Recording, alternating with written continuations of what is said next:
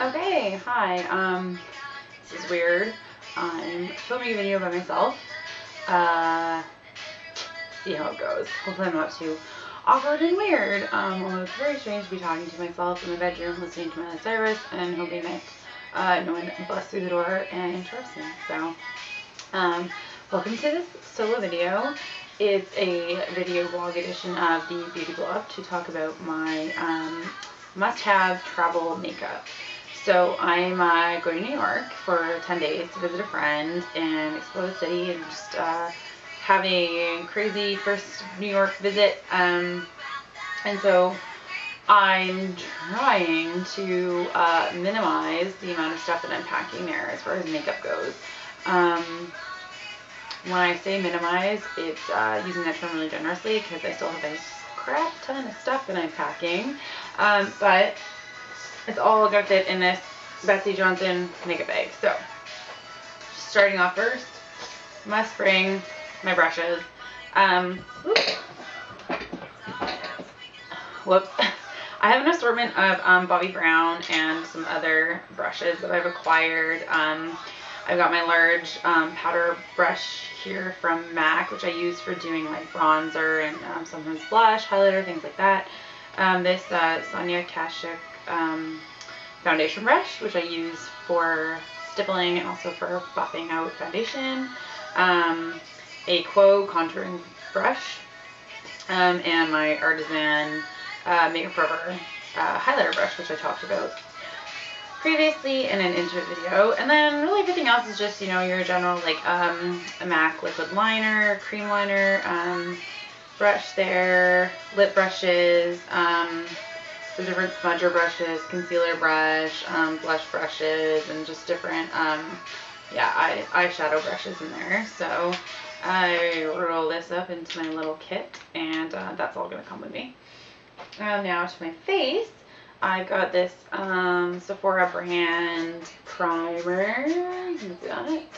Uh, I just picked this up and so far I'm loving it and I feel like I'm going to be running around the city for like 12, probably 15, 18 hour days just running around being crazy and exploring. So I want to make sure my face stays intact. So uh, a primer is a must. So I've got that in there.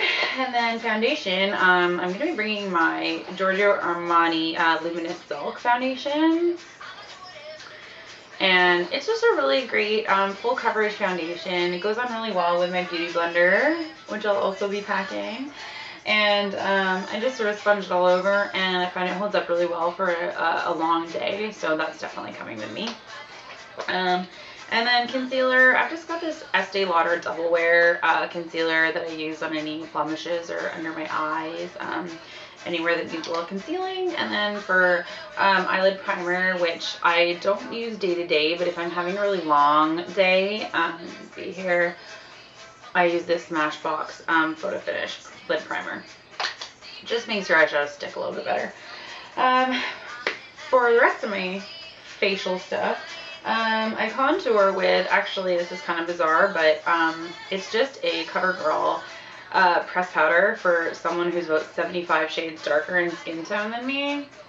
Um, and I actually use this to contour with because it's just a darker um, press powder that is in a totally matte finish. Um, so I really like it for contouring because there's with bronzers a lot of time you get some like shine and shimmer and glimmer and uh, for contouring I don't really want any of that. So this is a great option for that.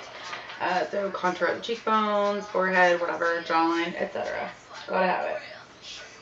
Um, my Makeup Forever Photo Finish um, powder, press powder.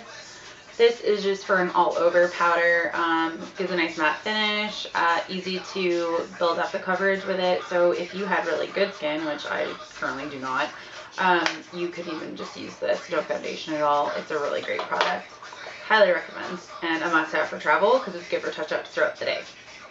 Um, and then I've got my Guerlain uh, Terracotta um, Light in uh, the Blondes color. Bronzer. Just, again, I'm pale as a vampire, so it gives me just a nice glow so I don't frighten anybody, hopefully. Um, and add some dimension to the base. It's got some shimmer in there, and it's definitely going in my bag. Um, I'm bringing two blushes. One is this um, powder blush from uh, Lancome. And it's just in a sheer uh, am oh amber rose color. It's just a nice soft pink.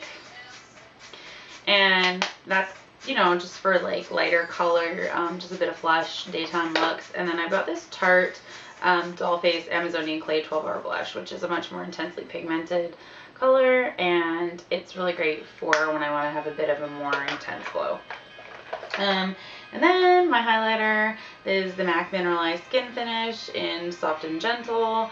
And you can see there. Highlighting tops of the cheekbones, around the eyes, uh, chin, top of the nose, wherever you want a little extra dimension. Um, so I know that's a lot of stuff just for my face, but it um, all adds up to be, well, whatever this is going on right now. Um, and then for brows, I'm bringing this is actually a Bobbi Brown eyeshadow in uh, blonde. And I use it for my brows, and I also use it for my lids, so two for one. And uh, this e.l.f. Um, clear brow gel and mascara, which I just use to set everything in place. Um, and then for eyes, I'm bringing just three eyeliners, um, a gray and a brown, which is the um, waterproof, uh, it's the Aqua Eyes waterproof eyeliner from Makeup Forever in brown. And this is by far the, my favorite um, waterproof liner that I've ever used. It lasted me through like a super sweaty gym session uh, the first time I tried it, so I was sold. And it's super soft. It goes on really well. No pulling, no tugging on your eyelids. And uh, it seriously lasts all day. It's super waterproof, but also easy to get off at the end of the night with some waterproof makeup remover.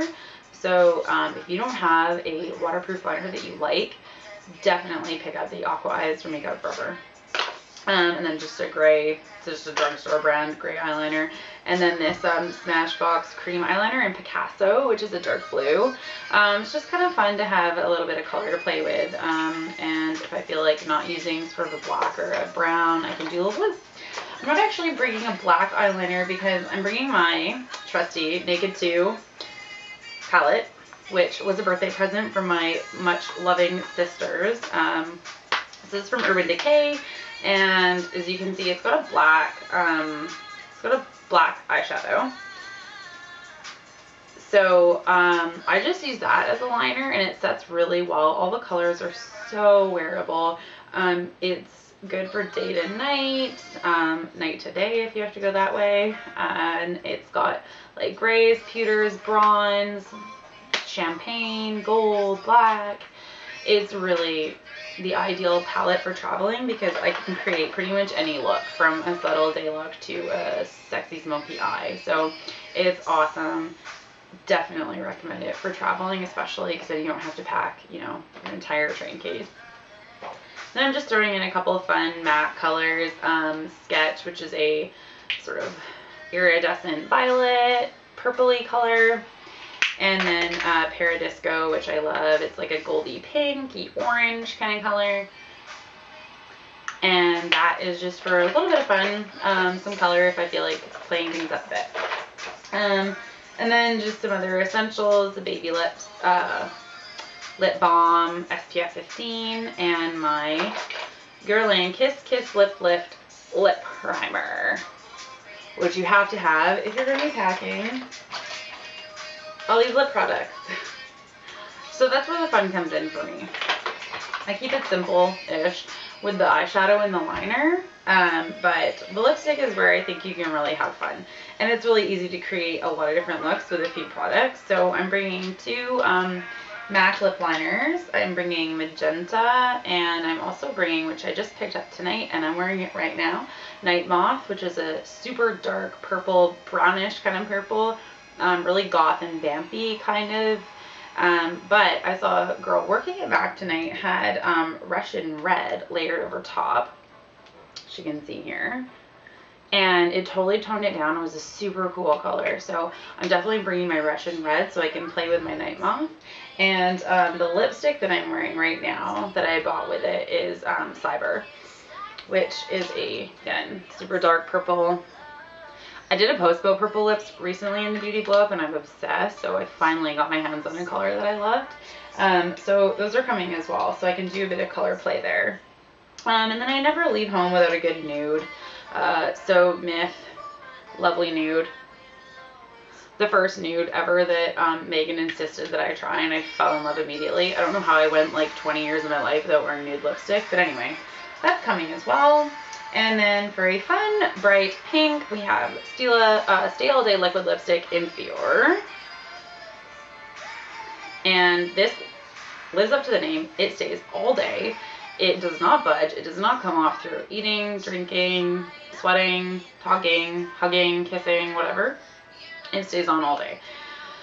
Um, so it's just got a lip brush there.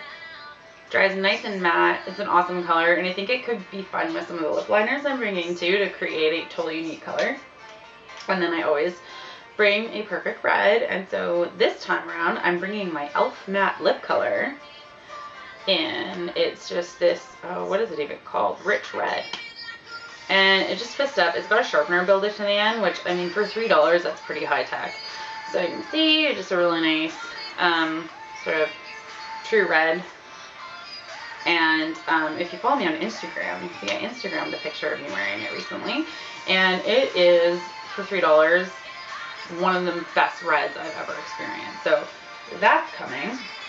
And last but not least, in the lip department, we talked about this on the Intuit. It's the Guerlain 7 million word long named uh, matte liquid lip stain. It's coming to you because, well, as we talked about, um, it was expensive and I need to get my money's worth. So this is coming with me because it's a really easy color to last all day as well. And last but not least, mascara. Um, so usually I wear Guerlain uh, Maxi Lash. But Shoppers was all sold out and I needed new mascara and I was too annoyed to run around looking for it. So I picked up um, Hypno Star from Lancome in a cool sparkly bottle, bonus. Um, and it's got a really interesting shaped brush. It's sort of flat, but triangular. So we'll see what that does. And um, that'll be my New York experiment is trying out a new mascara. Um, so throw that in the bag and it just zips up so I am good to go and this is going to be my New York beauty bag and thanks for watching and I will see you soon. Bye.